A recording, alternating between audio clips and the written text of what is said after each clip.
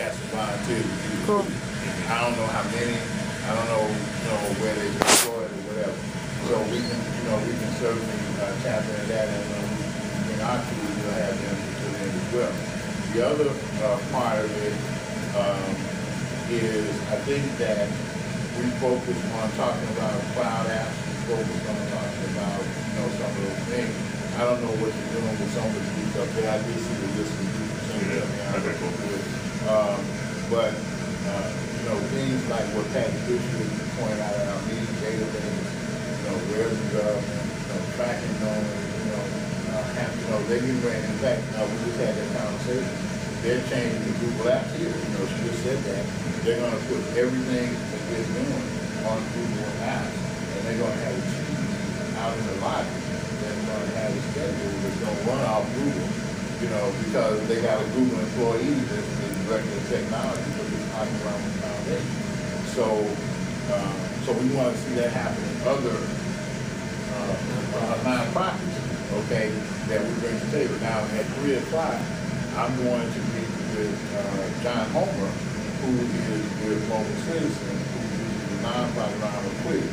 We got to deal with them to supply this, uh, this, this, uh, clear wireless for, uh, about half, or a little bit less than half, of what it would normally cost with, uh, with the going to Quick with the motor and with the, you know, with the big motor, that, you know, it's sort of the square, it's the, you know, sort of triangle motor. Uh, not square, but, you know, it has this sort of pyramid.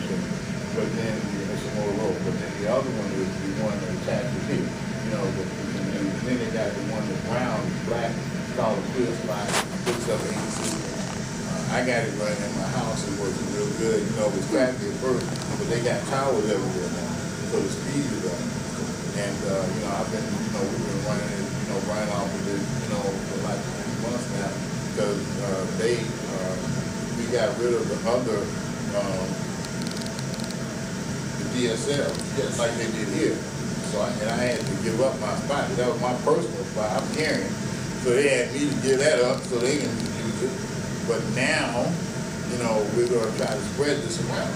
So we can get it to individuals as well as nonprofits. And it's a good deal. Patty Grizzly is using it, you know, out there.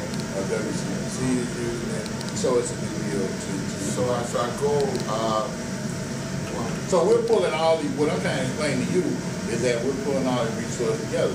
Now, when we did the seniors training here, uh, uh, last month, you know, everybody that was, that completed that twelve-week program got refurbished computer. And so a lot of those people who we talk, we don't talking with, they need to have the training, but they also need to have some hardware to, you know, to, to work with. So we're, you know, bending whatever resources we can to make sure that they get that.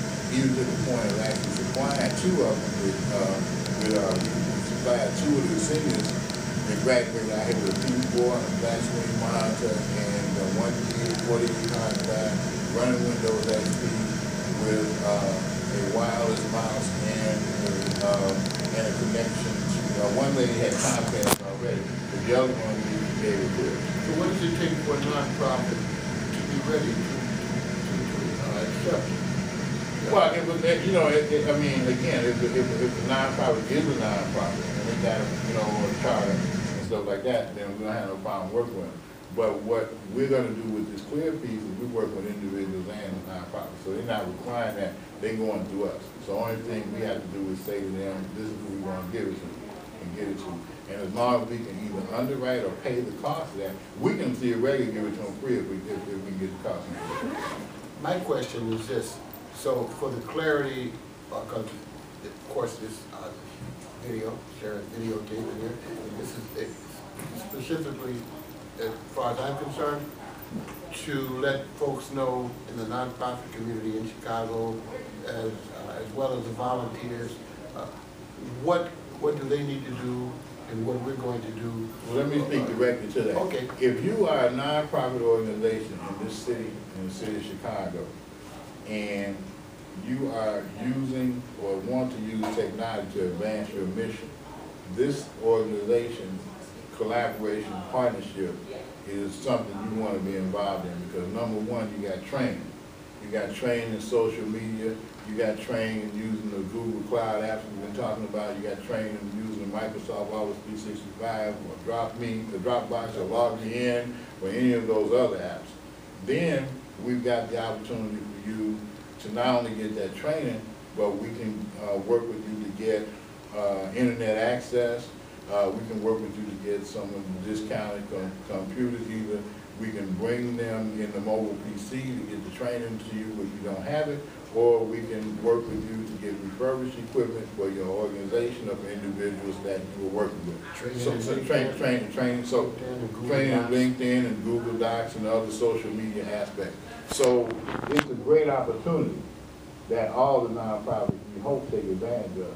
These guys are here, we're working with them to expand this training and expand the resource base, let's get that, uh, uh, expansion happening and take advantage of it, that's my message to you.